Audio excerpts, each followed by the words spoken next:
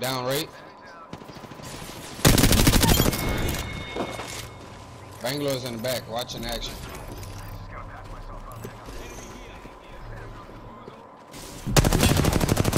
Nice. There